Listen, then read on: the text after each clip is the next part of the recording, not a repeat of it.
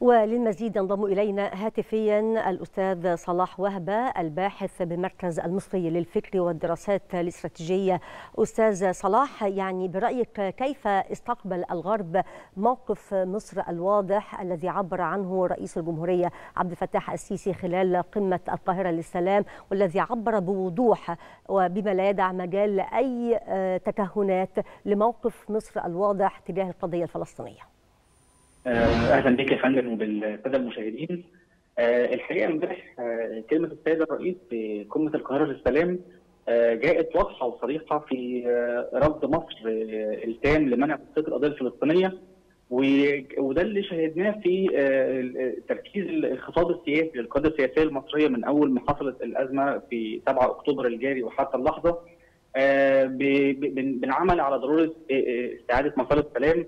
وإن إحنا نرجع تاني لحل الدولتين آه وإن يجب إن المجتمع الدولي آه إن هو يعمل على حل القضية الفلسطينية بشكل نهائي بدل ما إن يكون في كل يعني مجموعة سنوات جولات من التصعيد ويتم بذل جهود لاحتوائها لكن من الأفضل إن إحنا يعني نحل القضية بشكل نهائي على أساس حل الدولتين على حدود عام 67 آه وجاء التأكيد المصري امبارح آه بشكل واضح واللي شفناه في كلمة السيد الرئيس إن رفض مصر إن يكون في أي مخططات آه لتهجير تهجير القسر للفلسطينيين إن هم يتجهوا لسيناء وما تبعه من دعم عربي شفنا امبارح كل الأطراف العربية اللي كانت حاضرة في كلماتها بتؤكد على رفض تهجير القسر للفلسطينيين وانتقالهم لسيناء.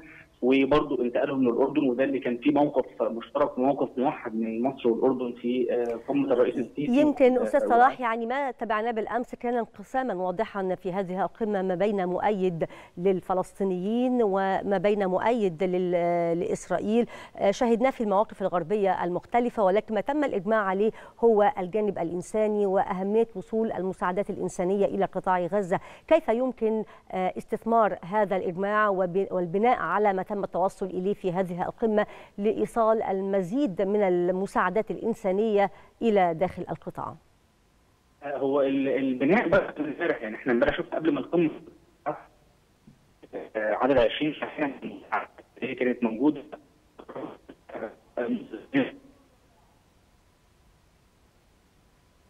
وده اللي هو أحد اللي هي حققتها إن هي عملت.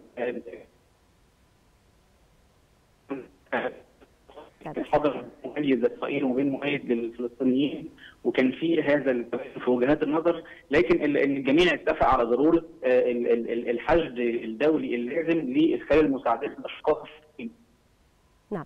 أشكرك شكرا جزيلا الأستاذ صلاح وهبة الباحث بالمركز المصري للفكر والدراسات الاستراتيجية.